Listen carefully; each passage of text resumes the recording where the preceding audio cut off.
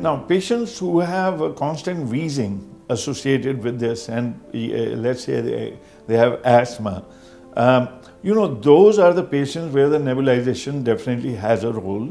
And it is not necessarily that you get dependent on that.